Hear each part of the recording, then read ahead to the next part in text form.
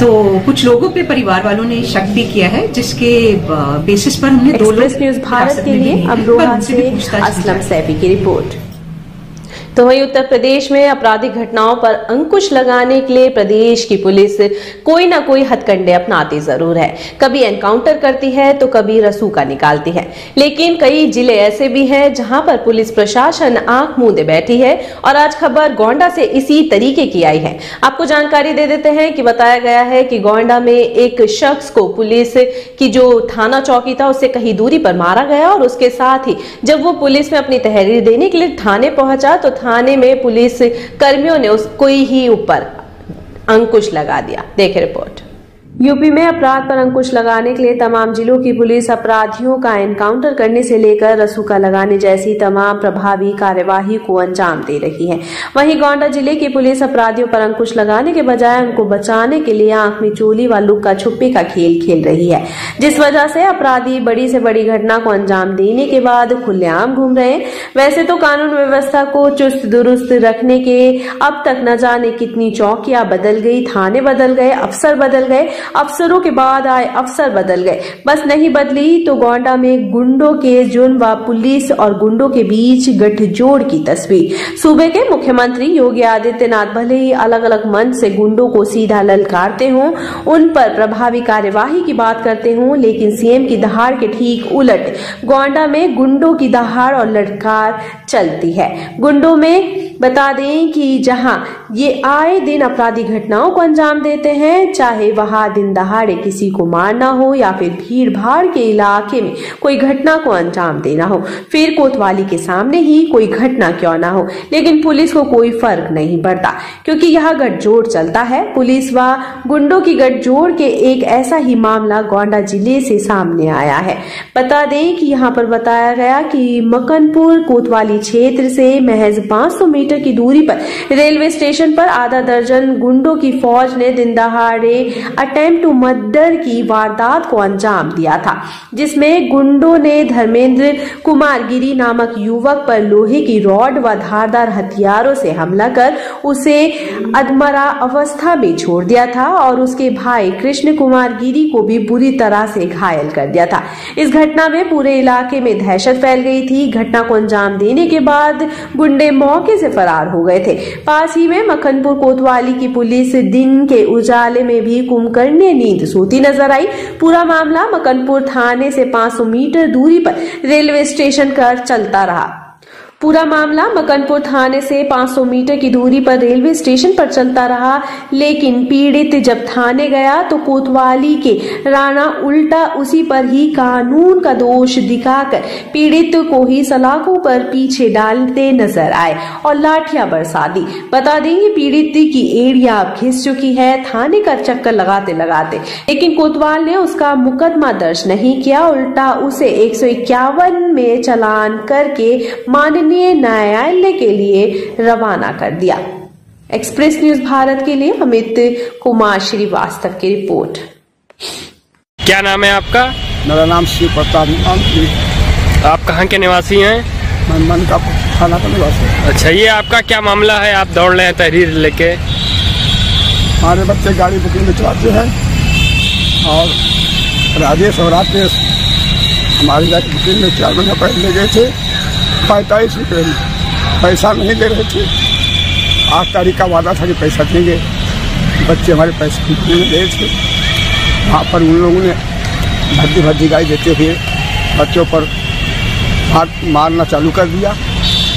बच्चे हमारे भागे और एक सौ बारह नंबर पर डाल किया पुलिस मौके पर पहुँची, लेकिन लेट में पहुँची तो बच्चे हमारे थाने पहुँच। गए बच्चों को हमारे हमारे हिरासत में नहीं लिया गया और आरोपी को पकड़ा गया, लेकिन उनको वहीं से छोड़ दिया गया। आरोपियों का मन दबंग बन गया, मन भर गया उनका, और पहुँचते हमारे बड़े लड़के, धर्मेंद्र का कुमार गिरी को लाठी डंडों से काफ़ी मारा पीटा। जिससे उसका पैर फ्रैक्चर हो गया। सीने में चोट काफ़ी आई हुई है।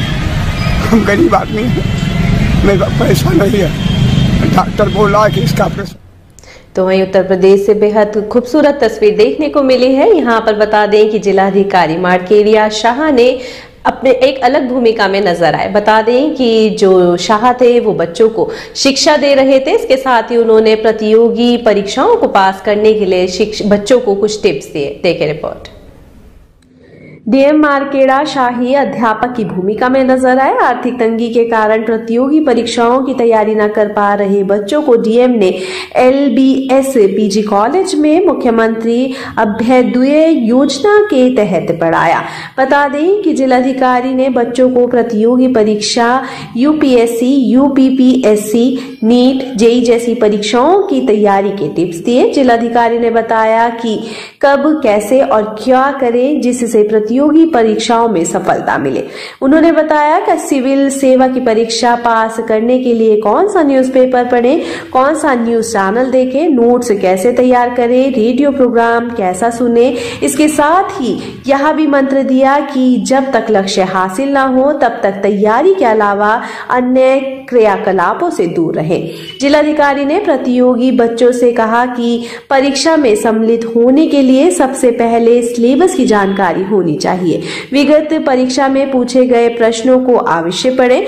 सिविल सेवा की परीक्षा में कब कब क्या क्या बदलाव हुए हैं, उसकी जानकारी भी ज़रूर रखें। आगे आपको दिखाते हैं कि गोंडा में किस तरीके से आज की युवा पीढ़ी को प्रेरित किया जा रहा है कि वो पश्चिमी सभ्यता को भूलकर देश की संस्कृति को अपनाएँ। देखें रिपोर्ट।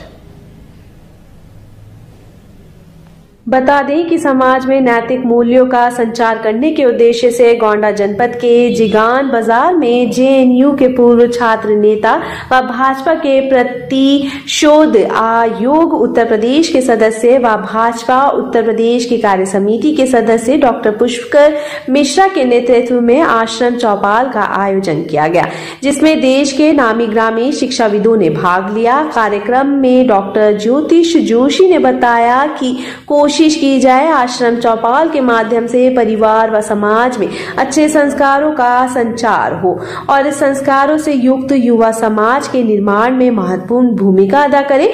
मीडिया को संबोधित करते हुए डॉक्टर पुष्कर मिश्रा ने कहा कि इस कार्यक्रम का उद्देश्य व्यक्ति के आचार विचार, व्यवहार व संस्कार में धर्म, नीति, न्याय व सत्य का संचरण हो। आश्रम चौपाल कार्यक्रम का आयोजन किया गया है। इसका उद्देश्य क्या है? इसका उद्देश्य व्यक्ति के आचार, विचार, व्यवहार, संस्कार में धर्म, नीति, न्याय और सत्य का संचरण हो इस दिशा में ये प्रयास है। मैंने जैसा कि अपने वक्तव्य में भी कहा था, उद्बोधन में कहा था कि संस्कार, अभ्युदय, राजधर्म, ज्ञान और समर्पण ये पाँच कल्प हैं आश्रम परंपरा के, और इन कल्पों के माध्यम से हम लोग जीवन में एक नई क्रांति लाना चाहते हैं, एक आंदोलन खड़ा करना चाहते हैं, ताकि मनुष्य मनुष्य बन सके और एक ऐसे मुकाम पर पहुँच सके जहाँ सहचर और सहभाव, सद्भाव की भावना प्रगाढ़ हो सके और ऋषि सत्ता राज सत्ता से अधिक बलशाली है इस बात का उद्घोष रेडी सर ये आश्रम चौपाल के माध्यम से एक बड़ा संदेश देने की कोशिश की गई है। सर इसका क्या उद्देश्य होगा और क्या लाभ होगा बताइए। आश्रम परंपरा के इस चौपाल से यहाँ पे जो ध्येय निर्धारित किया गया है जो इसका उद्देश्य है